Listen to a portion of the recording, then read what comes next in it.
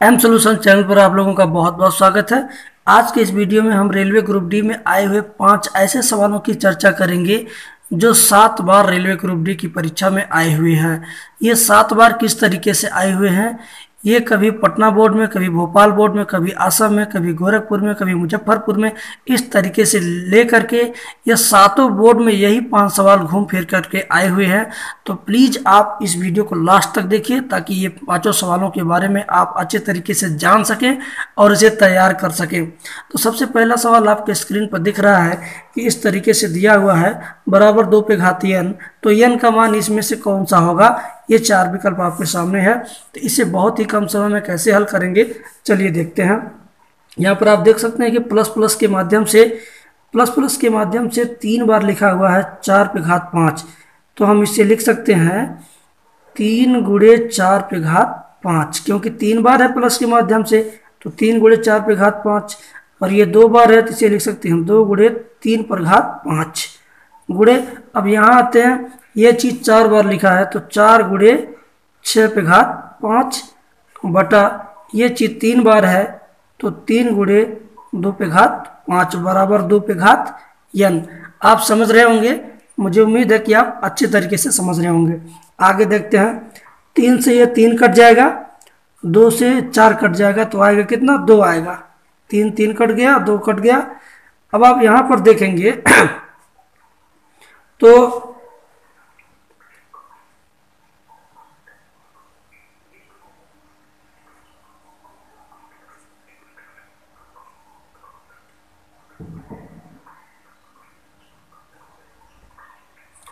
अब यहाँ पे देखेंगे तो चार पे घात पाँच छः पे घात पाँच, तीन पे घात पाँच, दो पे घात पाँच।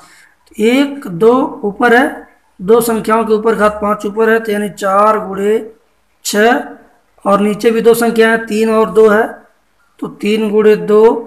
इसके ऊपर घात हम इकट्ठा पाँच लगा सकते हैं, क्योंकि पाँच घात इस पर भी है, इस पर भी है, इस पर भी है, और इस पर भी है। यानी इस पर इस पर इस पर चारों पर पाँच घात है, और गुड़े ये हमारा दो अकेला बच रहा है। बराबर दो पे घात यन। आप समझ सकते हैं, दो से चार काटेंगे तो दो होगा, और इस तीन से छः काटेंगे तब भी दो होगा। यानी दो गुड़े दो होगा ये तो दो पे घात दो इसके ऊपर घात कितना? पाँच। अगुड़े दो, बराबर दो पे घात कितना? यन। थोड़ा सा हम और आगे बढ़ते हैं तो दो पे घात दो पच्चीस दस हो जाएगा। दो पे घात दस गुड़े दो बराबर दो पे घात यन। तो यहाँ पर लिख सकते हैं दो पे घात इस पर भी एक घात है, दो पे घात ग्यारह बराबर दो पे घाते यन तो यहाँ से दो और दो कैंसिल हो जाएगा यन का मान कितना आ जाएगा? यन बराबर आ जाएगा ग्यारह। तो यहाँ हमें विकल्प में दिया हुआ है दस, ग्यारह, बारह, तेरह। तो ये दूसरा विकल्प ग्यारह वाला हमारा सही है।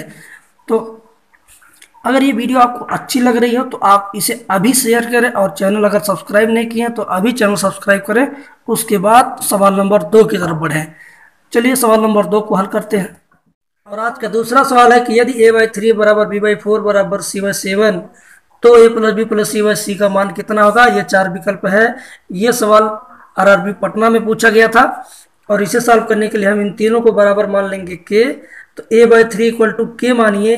तो ए इक्वल टू होगा three k A equal to होगा three k B equal to इसी तरीके से हो जाएगा फोर के और सी इक्वल टू हो जाएगा सेवन के अब इसमें हम वैल्यू अगर पुट करें ए बी सी का तो हो जाएगा थ्री के प्लस बी की वैल्यू यहाँ से लेंगे फोर के प्लस सी की वैल्यू यहाँ से लेंगे सेवन के बाई सी की वैल्यू फिर से लेना है आपको सेवन के तो थ्री के फोर के सेवन के जोड़ दें तो ये तीन, चार, सात सात, चौदह के हो गया, बटे यहाँ पर भी सात के के से के कट गया, सात से चौदह कट गया, आ गया दो तो ये हमारा विकल्प, पहला विकल्प सही है। इस तरीके से इस सवाल को भी हमने बहुत ही कम समय में हल कर दिया। अब आगे बढ़ते हैं। अगला सवाल लेते हैं। सवाल नंबर तीन लेते हैं। यह सवाल भी रेलवे ग्रुप डी की परीक्षा में पूछा गया था। इसके लिए भी यहाँ पर चार विकल्प दिया हुआ है। इसे सॉल्व करने के लिए बहुत ही हम अलग तरीके का इस्तेमाल करेंगे। हम लिख देंगे यहाँ पर नौ सौ निन्यानवे प्लस एक बटा सात और इसको लिख देंगे इसी तरीके से नौ सौ निन्यानवे प्लस दो बटा सात। यहाँ पर नौ सौ निन्यानवे प्लस तीन बटा सात।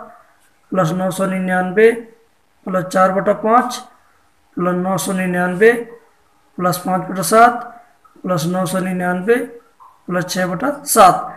अब आप यहाँ पर ये देखिए कि कितनी बार नौ सौ निन्यानवे है? एक, दो, तीन, चार, पाँच, छः बार है।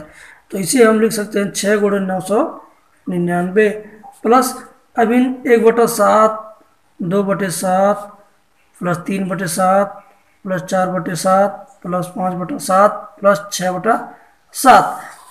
अब इन संख्याओं को हमें जोड़ना है तो हर तो बराबर है तो हर का एलसीएम ले लेना है, सीधे ऊपर से ही जोड़ देना है।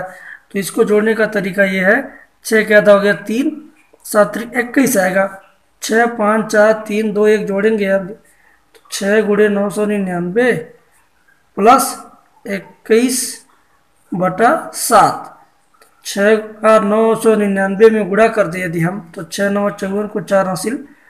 पाँच छः नौ, चौवन, पाँच, उनसठ को नौ हासिल। पाँच छः नौ चौवन पाँच फिर से आया उनसठ। ये अंक नहीं है। प्लस सात से इक्कीस काटेंगे आप तो आपको मिलेगा तीन। तो इसको इसमें जोड़ देते हैं उनसठ। ये है चौरानवे में तीन जोड़ देंगे तो हो जाएगा सत्तानवे। यहाँ पर पहला विकल्प इसका आंसर होगा। तो इस तरीके से इस तरह के प्रश्नों को बड़े आसानी से हल कर सकते हैं। इसमें कोई ज़्यादा कैलकुलेशन नहीं है, बस नौ सौ निन्यानवे अलग हो गया। एक बटा सात, दो बटा सात, तीन बटा सात, इस तरीके चीज़ इस तरीके की चीज़ अलग हो गई। तो इस तरीके से हम इसका आंसर बहुत जल्दी प्राप्त कर लिए। अब हम चौथा क्वेश्चन सॉल्व करेंगे। रेलवे ग्रुप डी की परीक्षा में यह भी सवाल आया हुआ था, काफ़ी लंबा दिख रहा है। अगर इसका एलसीएम ले तो काफ़ी लंबा हो जाएगा, काफ़ी टफ हो जाएगा। इसके लिए भी एक ट्रिक है, बहुत ही अच्छी ट्रिक इस तरीके के सवाल को हल करने के लिए हम एक ट्रिक अपनाएँगे। वो ट्रिक कब काम करेगी? जब इस तरीके से दिया हो नीचे बीस, तीस, बयालीस, छप्पन मतलब ये है कि 20 का ऐसा गुणनखंड ढूंढिए कि गुणा करने पर 20 प्राप्त हो और घटाने पर एक प्राप्त हो। तो चार पच्चीस बीस और चार पाँच को घटाएँगे तो भी एक आएगा। पाँच छः तीस घटाएँगे, एक आएगा। छः सत्तर बयालीस घटाएँगे तो एक आएगा। तो इसका मतलब हम इसे ऐसे लिख सकते हैं इसको। एक बटा बीस को लिख सकते हैं। एक बटा चार माइनस एक बटा पाँच। ध्यान दीजिए कैसे लिख सकते हैं? जब एलसीएम लेंगे तो पाँच चौक बीस आएगा, पाँच एक पाँच, चार एक चार, पाँच में चार घटेगा एक बटे बीस ये आएगा। प्लस इसको भी पाँच छः तीस होता है तो एक बटे पाँच माइनस एक बटे छः क्योंकि पाँच छः का तीस। प्लस इसको लिख सकते हैं छः सत्य बयालीस यानी एक बटा छः माइनस एक बटा सात।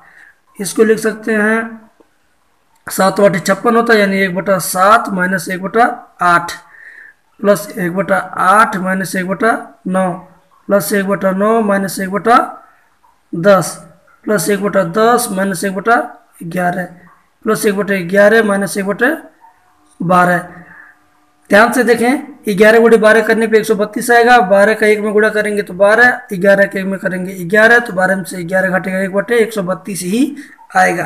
तो अब यहाँ पर आसानी से आप देख सकते हैं, इससे ये कट गया, इससे ये कट गया, इससे ये कट गया इससे करते करते करते करते आप लास्ट तक पहुँचेंगे। लास्ट वाली संख्या बचेगी। एक बटा चार बचेगा माइनस एक बटा बारह बचेगा। तो बारह और चार का लघुत्तम हम लेते हैं तो बारह आएगा। चार से बारह को भाग देंगे तो आएगा तीन।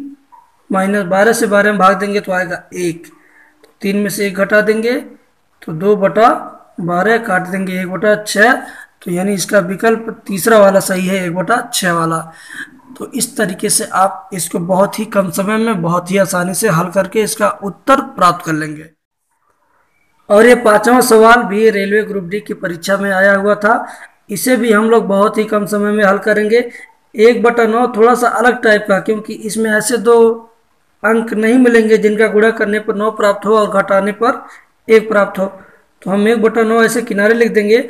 और यहाँ से हम देखेंगे तो हमें वही चीज़ मिलेंगी कि दो तीन छः हो जाएगा तीन चौक बारह हो जाएगा चार पच्चीस बीस हो जाएगा तो हम एक बटा छः को लिख सकते हैं एक बटा दो माइनस एक बटा तीन ध्यान से देखें एक बटा छः को हम एक बटा दो माइनस एक बटा तीन लिख सकते हैं क्योंकि लघुत्तम लेने पर घटाने पर फिर यही एक बटा छः आएगा तो इस तरह इसको लिख सकते हैं एक बटा तीन माइनस एक बटा चार प्लस एक बटा चार माइनस एक बटा पाँच प्लस एक बटा पाँच माइनस एक बटा छः, प्लस एक बटा छः माइनस एक बटा सात, प्लस एक बटा सात माइनस एक बटा आठ, प्लस एक बटे आठ माइनस एक बटा नौ, क्योंकि आठ, नौ, बहत्तर बहत्तर तक हमें पहुँचना था।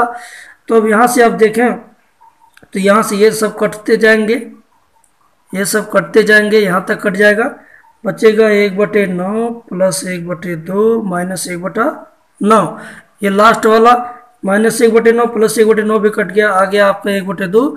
यही आपका पहला विकल्प एक बटे दो वाला सही है। तो मैं उम्मीद करता हूँ कि आज का ये पाँचों सवाल आपको अच्छे तरीके से समझ में आ गया होगा। और अब तो आप वीडियो को लाइक शेयर ज़रूर करेंगे।